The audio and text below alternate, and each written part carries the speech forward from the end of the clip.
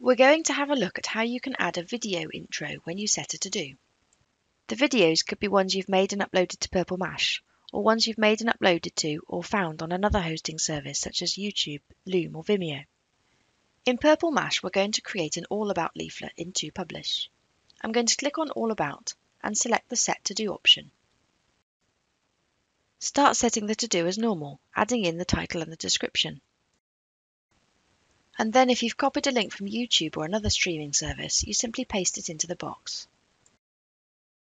Often streaming services have embed codes next to their video. In YouTube, you click on a Share button and then choose Embed Code, and then you can copy it. If this is the case, you can copy that, and then when you go back into Purple Mash, you can paste this embed code into the description.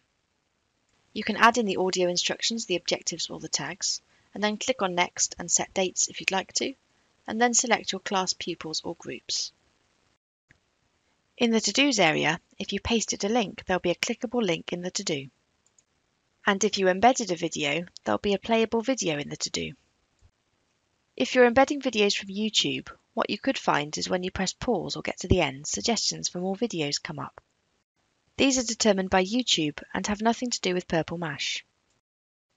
There are steps you can take to control what you see here. I'm going to click on Edit for this to do and scroll down to look at the iframe. Within the iframe, I can pick out the URL for that video that I copied from YouTube. At the end of that, if I type a question mark in and then rel equals zero, with that alteration to the iframe, what we find is if we play and then we pause or get to the end of the video, if there are any more videos suggested, they come from the same channel as the embedded video.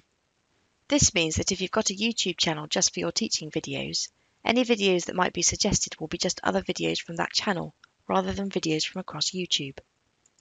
We're now going to go to the Work folder to have a look at uploading a file we've made ourselves.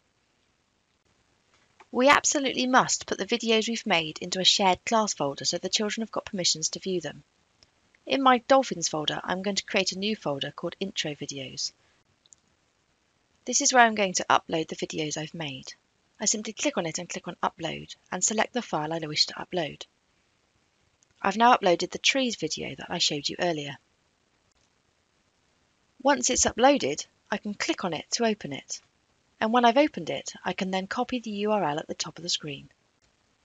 I can then paste that URL into the description area of the to-do and then set the to-do in the same way as I did a moment ago. I'm now in Purple Mash as Alfie, who's part of Dolphin's class. Alfie has clicked on his to-dos and can see he's got a to-do with a video in it. He can click on play and watch the video inside the to-do. Once he's finished watching the video, he can click on start and undertake the activity. If Alfie's been set a to-do with a video link rather than an embedded video, Alfie can click on the link to watch the video. He can watch the video, which opens in another tab. And then he can click back to Purple Mash and click on Start to complete the task. Here I've got two documents for my maths lesson. I'm going to click on the intro video and copy the URL. I'm then going to click on the PDF and click on Set 2Do. When I enter the description, I can paste the URL for the video. The rest is the same. I set this for Dolphins class and then set the to-do. From the to-do here, you see the children watch the video and then download the worksheet. Don't forget that you can also use the full picture templates in 2Publish to add your worksheet in if you've saved it as an image file. Then children can write over it in text boxes and add markup using the paint tools.